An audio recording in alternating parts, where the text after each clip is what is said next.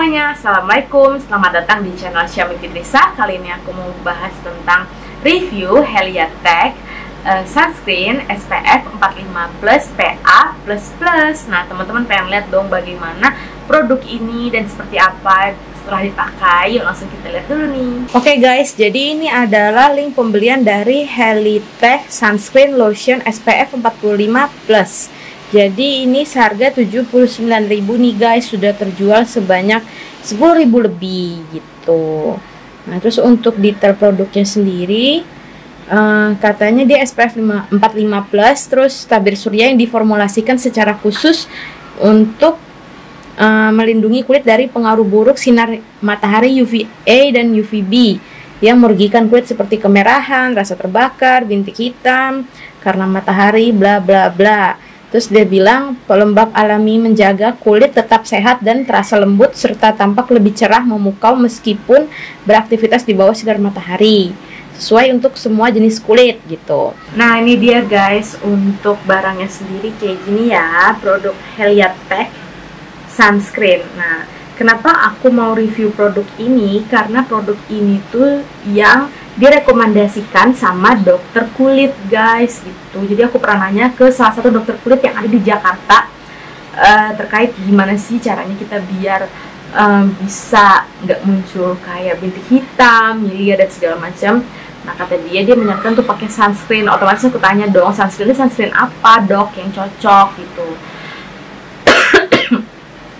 Terus dia bilang sunscreen itu yang ini guys gitu. Jadi kita langsung buka aja dan aku langsung mau uh, pencet nih biar keluar. Tuh. Jadi ya tuh teman-teman bisa lihat ya. Kalau krimnya tuh warna putih dan kental banget guys gitu. Jadi aku mau pakai dulu nih untuk si uh, apa namanya? Tuh. Si produknya sendiri krimnya ini oke ini krimnya. Kita langsung aplikasikan. Jadi nanti teman-teman bisa melihat sisi uh, yang sudah diaplikasikan dan yang belum ya. Jadi kelihatan perbedaannya guys untuk secara look gitu ya. Oke guys sekarang ini sudah kupakai sisi sebelah sini sisi sebelah kananku. Sudah kupakai dan sisi kiri belum ya. Nah teman-teman bisa lihat apa nih perbandingannya setelah uh, sebelum dan sesudah aku pakai. Ini benar-benar fresh ya aku baru pakai jadi dalam kondisi kulit aku tuh yang habis di apa di peel off pakai produk ini nih di atas kalau mau lihat reviewnya. Gitu. Jadi ini sudah pakai produk Emina peel off udah selesai jadi udah bersih ya wajah. Lanjut aku pakai uh, dari si uh, yang tadi Heliatech dan ini kalau aku zoom kayak gini guys tuh. Oke akan aku lihat ya dari sisi kaca yang pegang ini hmm, apa yang berbeda ya? Uh, yang berbeda itu sih kelihatannya muka aku yang sini jadi lebih halus gitu guys daripada yang di sini. Dan agak terasa sedikit panas gitu ya. Oke okay. jadi itu sih kalau menurutku. Terus kita bakal lanjut lagi pakai sisi sebelah kiri Nah ini dia guys, aku sudah pakai di sisi kanan dan sisi kiri wajahku. Bagaimana teman-teman? Ya aku bakal zoom. Kelihatan kan ya? Tunggu. Kelihatan kan kalau wajahku terlihat lebih cerah pakai ini guys gitu. Dan lebih halus tentunya. Dan ini SPF-nya cukup tinggi loh guys, SPF 45 PA+. Oke, jadi setelah aku pakai jadi aku pernah pakai ini beberapa kali ya dalam kurang lebih seminggu gitu ya untuk memperhatikan bagaimana hasilnya nih guys. Jadi kita langsung masuk untuk Tries dan Trinonya oke akan aku bacakan ya karena aku sudah catat di notes aku. Jadi uh, kelebihannya itu eh dari kelebihan apa kekurangan nih? Dari kekurangan dulu ya aku bacakan Uh, jadi ternyata uh, Heliatech ini dia nggak bisa menutupi noda gelap di wajah guys gitu. Uh, kayak contohnya aku zoom ya, contohnya ini di sini ada bekas jerawat, ini tuh nggak bisa uh, tertutupi oleh si uh, apa namanya nih Heliatech ini guys gitu sunscreen ini.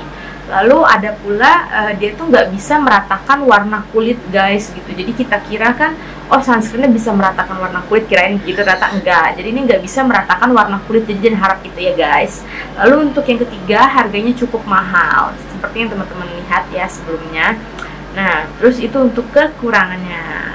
Untuk trinonya nih guys untuk lalu untuk triesnya. Tries yang pertama adalah apa ya Kat, uh, katanya sih katanya. Tapi bukan katanya ini catatan aku ya. Ini katanya ringan di wajah.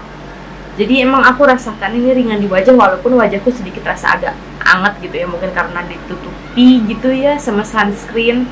Lalu bisa memutihkan wajah secara normal. Seperti yang aku sebutkan dengan hasilnya ini aku senang lihat wajahku tuh halus terus uh, apa cerah gitu. Cerah uh, mutih dengan normal gitu ya wajahku nggak yang lebay gitu Lalu ini adalah resep dari dokter, dari dokter kulit. Jadi teman-teman nggak perlu risau takutnya bagaimana bagaimana gitu karena ini aku dapatkan dari dokter kulit sendiri.